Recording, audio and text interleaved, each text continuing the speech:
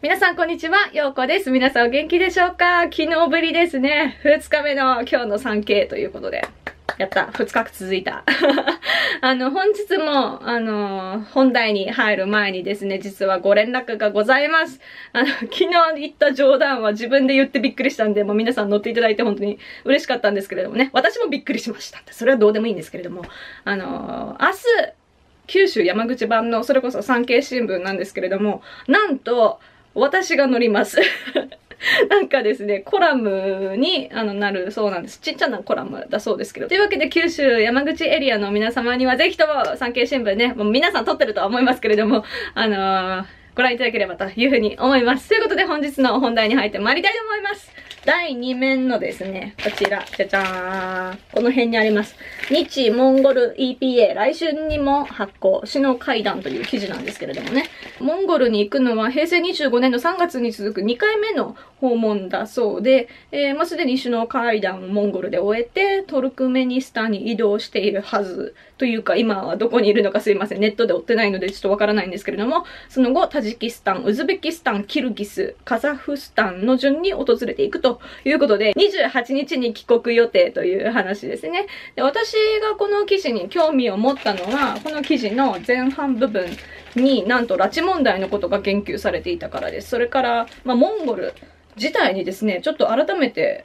モンゴルってどんな国だろうというのをね、考えさせられたので、あの、この記事を取り上げようというふうに思いました。ということで、記事の前半部分を、あの、ご紹介したいと思います。えー、安倍晋三首相は22日午後、えー、モンゴルの首都ウランバートルで、エルベグドルジ、難しいな、大統領やサイハンビレグ首相と個別に会談し、政治安全保障や経済分野で協力を推進していくことで一致した。えー、安倍総理はサイハンビレグ氏との会談で、北朝鮮による核ミサイル開発について、え国際社会会が連帯して挑発行動の実践、国連安全保障理事会決議の遵守をも強く求めるべきだと強調。えー、拉致問題の解決に向け北朝鮮と国交を持つモンゴルの協力に期待を表明した。えー、サイハンビレグ氏は北東アジアの安定に貢献していきたいと応じ、安倍首相が掲げる積極的平和主義を歓迎した。日本の安保理常任理事国入りを引き続き支持する考えも示したということです。で、その後ですね、まあ、経済面についてウィンウィン関係を築いていきましょうというのが書いてあります。まあ、つまりは、えー、経済を助けてほしいモンゴルと日本はね、あの中国を牽制したいということで、まあそういうあたりでウィンウィンなのかなっていうのが私の読み取ったところでございます。で、関連記事が、関連記事というか、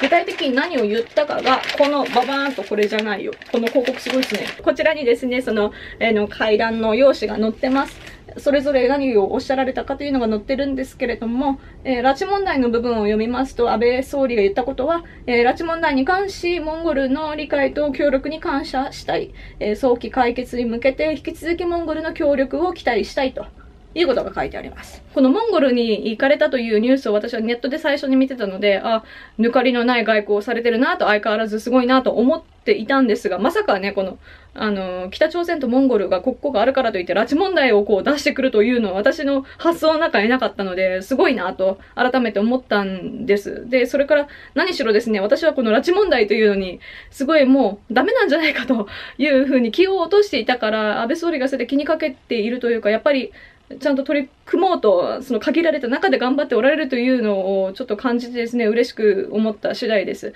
と言いますのもですね、えー、10月の17日、先日ですね、次世代のトーンのタームミーティングがありましたので、イフコンと言うんですけれども、あそれに行ってきたんですね。で、そこのあの講師の先生お二方いらっしゃいまして、えー、お一人は特定失踪、あ なんで噛むんだ、特定失踪者問題調査会代表の荒木和弘先生、それからもう一方は、えー、産経新聞記者の北義弘先生という方でした。で、そこに家族会の平野文子さん、えー、松本留美子さんの姉さんですが、もういらっしゃっていたという状況でした。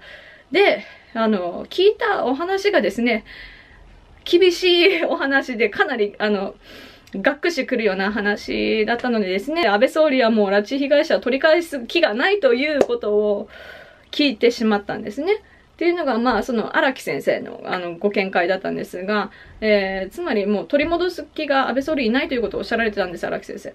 で、なぜかというと、まあ、加藤さんって誰っていう感じですよね。平野さんもその点は誰っていう感じっていうのを、あの、素直におっしゃってたんですが、あの、加藤さんは、あの、拉致のイベントに来たこともないし、来る気配もないと。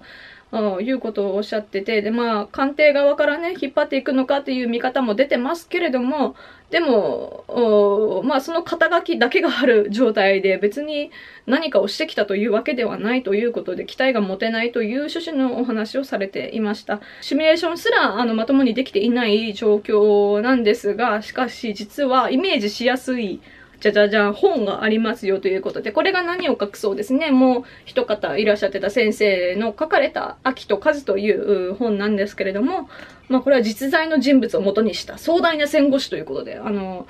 拉致被害者についての、まあ、産経新聞にずっと連載されてたもの、小説が本になったものです。中身、まあこんな感じでね、えーなんかセリフというか会話が多くて確かに読みやすそうです。なんかね、ものすごく、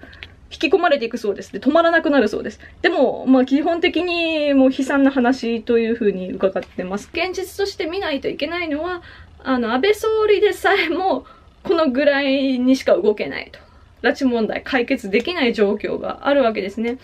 で、ちょっとね、話がそれるようでそれないんですけど、あの、そのタウンミーティングの前に凱旋があったんです。で、私本当に実際のと応援しているから、その凱旋からあの参加させていただいてお手伝いしてたんですけれども、その準備をするときにね、あの、いろいろ旗の準備しますでしょ？とかね、こういうチラシ、じゃじゃーん、これ次世代党のね、一番、一押しのこうチラシなんですけれども、こういうのを用意してる時にですね、ちょうどおじさんがやってきて、あの、あ、次世代の党か、みたいな感じで、どういう位置の人かなと思ったら、悪口言い始めたんですね。あの、次世代の党は、あの、ダメよっていうことを言ってくるわけです。まあ、消費税増税に反対しますという、こういう、まあ、チラシがあると。ね、こんなこと選挙になったらこういうこと言って、って言ってね、すごい寂しそうなことを言おっしゃられてたんですよ。でも、そうですよって、選挙に あんま言い返しはしなかったですけど、拉致問題とか言っても関心がないんですよ。日本人っていい、いい人たちの集まりみたいに言われるけど、本当にひどい民族ですよね。なんかね、信じられなく、本当に信じられないですけどね、私もでも気づけなかった人間の一人なのであんまり強くも言えないと。でもね、拉致問題って言っても人は振り向かないですよ。消費税増税反対って言ったら振り向くんですよ。そんな、ね、日本人だからこそこういう打ち出ししかできないという状況でね、あとはま経済に興味ある人とかが、ね、あの、振り向いてくれればということでこういうことやっています。で、でもこれって別にあの、嘘ついてるわけじゃないんですよ。共産党とか平気で嘘つきますけど、あの、実際の党のこと消費増税反対しますっていうのは、本当に反対しとかないといけないのものなので、いいんです、これで。ね。で、これで本当に無関心層の人たちが支えてくれれば、嬉しいと私は思うんですね。経済を重視しているからといって、実在の党はどう考えたって保守政党なんですよね。仮にね、今自民党に京子先生が行ったとして、じゃあ、そこで京子先生どれだけ自由に動けるんですかって。次世代の党に行ったら自由に動けるんですよ。ね。で、次世代の党に、じゃあ議員の先生たちもいないし力もないって言われたいうところでですね、じゃあそれは力をつければいいでしょっていう話でですね、かつ自民党って今組織があって、人もいっぱいいて圧勝を続けてるような政党ですよね。で、そんなもう、もうみんなが一生懸命やってるところにちょっと外れて、次世代の党を応援する人たちがいるからって、じゃあ自民党のね、勢いが抑えられてしまうんですかといえば、そうじゃないですよ。だから、まあ別にね、今動ける状況にある人たちが動く分になぜ文句言われるのかが私はわからなくて、拉致問題のことを考えてもやっぱ実際の党でほしいてほしいし、他のこともね、安全保障の面も考えても、あの、まともなことを言って国会の次元を正常に保ってくれるような政党にいてほしいと思います。本当野党とか、他の野党は本当に期待が今できない状況ですからね。ということで、えー、以上が拉致問題に関係するところの私の反応だったんですけれども、2番目に、えー、モンゴルについて今回ね、この記事を読んで、えー、考えさせられました。モンゴルといえばですね、話は飛ぶようではあるんですが、じゃじゃ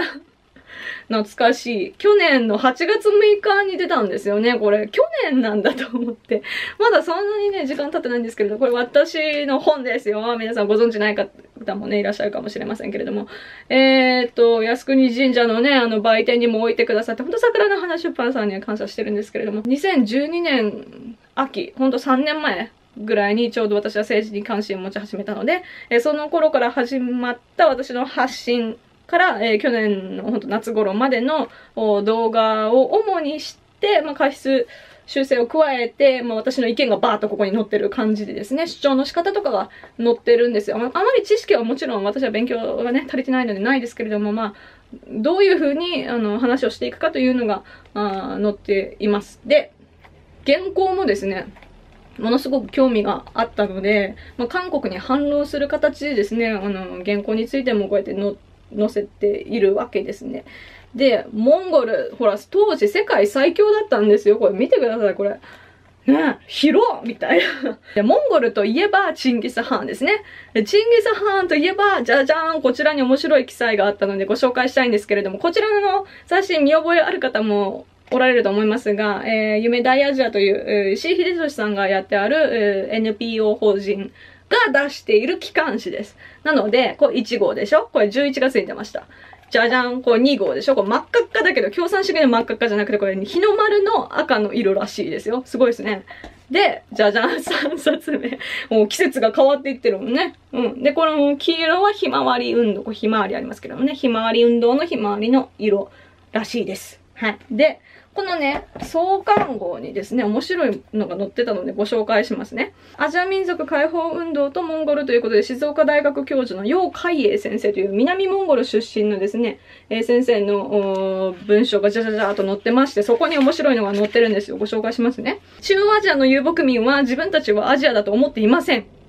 って感じですけど。えー、モンゴルだけではなく、えー、カザフスタン、あるいはもう少し西へ行くと、彼らの概念の中にアジアはありません。えー、昔私も通訳として日本人の団体とモンゴルやカザフスタンへ行きました。アジア人はいいですね。みんな同じアジア人です。黄色い肌ですから。と言ったら、向こうがどう答えていいか、まあ、困ってしまうのですと。え向こうは自分をアジア人だとは思っていないからです。彼ら遊牧民が考えるアジアというのはやはり中国と朝鮮半島です。東南アジアが入るかどうかも微妙です。じゃあ自分たちは何かというと、ユーラシアなのです。モンゴル高原から地中海、モロッコまでが大体一つの世界だと当事者たちはそう思っています。ということが書いてあって、えー、これ何かというと、パンモンゴリズムというものなんだそうです。それについても書いてあるので、えー、ご紹介します。えー、パンモンゴリズムとは、えユーラシア全体がモンゴルという見方です。トルコまで全部モンゴルだと言います。モンゴル人から言わせると、トルコ人もモンゴルなのです。事実、トルコ語とモンゴル語は語彙の半分くらいは同じです。3ヶ月もいれば、モンゴル人とトルコ人はすぐに通じ合うようになります。すげえ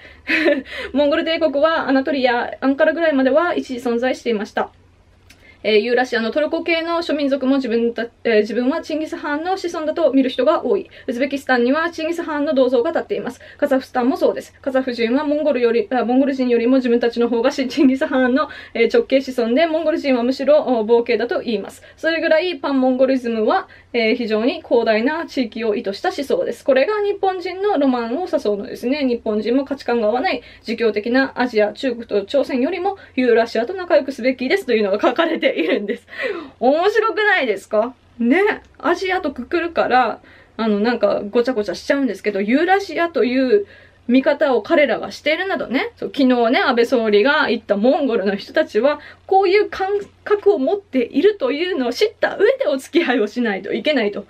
いうものでですね、なんか非常に興味深いんですけれども、この楊海英先生に加えてですね、もう一方、こちら2号に載ってるんですけど、じゃじゃん。オルホノド大鎮先生。この方も、えー、南モンゴル出身なんですが、写真が載ってたのか。こちらの先生ですね。はい。ということで、えー、何をおっしゃってるかというと、日本とモンゴルの関わり合いについて、あの、お話しされてるので、ちょっとお読みしたいんですけれども、今日のフォーラムでも歴史の流れの中で、日本とこのアジアの現在を考える、将来を考えるということが言われていますが、実はモンゴル、特に南モンゴルは日本ととても深いつながりがありました。日本の方はよくご存知だと思いますが、戦前には満州国がありました。その西側に我々のモンゴル自治政府がありました。それは日本の支援のもとにできた政府ですと。モンゴルは日本側から支援を受けて十数年間も反独立した状態、事実上独立した状態でした。自分の軍隊、政府、金融、経済、すべてを持つ政権でした。えー、今年の8月に夢大アジア主催の講演会で南モンゴル出身の妖怪先生、先ほどの先生ですね、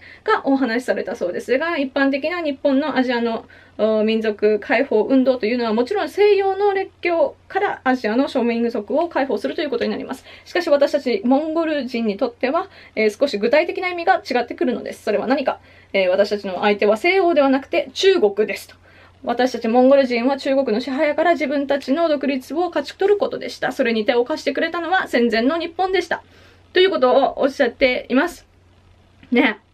日本にこんなに感謝してくださっている南モンゴルの大臣先生、南モンゴルと日本の関わり合いというのをね、非常に考えさせられるんですけれども、そこに中国がやってきているということで、そんなね、南モンゴルとかモンゴルと日本が仲良くやっていくということは、やはりまあ、今回安倍総理は、拉致問題のことを出してましたけれども、中国への牽制になるわけであって、アピールにもなる国際社会にも訴えていけるということでですね、今回このモンゴルに行かれてるというのは私は非常に大事な動きだなというふうに感じました。ということで、あ、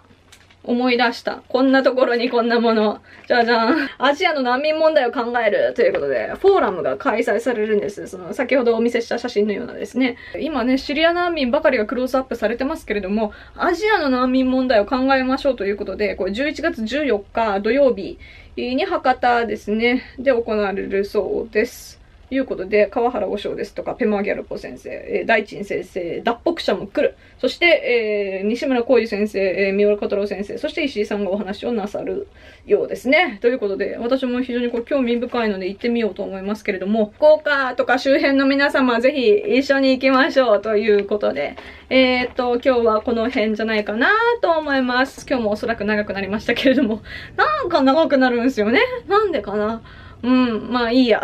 ご清聴どうもありがとうございました。またお目にかかります。明日産経新聞買ってくださいね。はい、ということで、つむらぎ、よさか。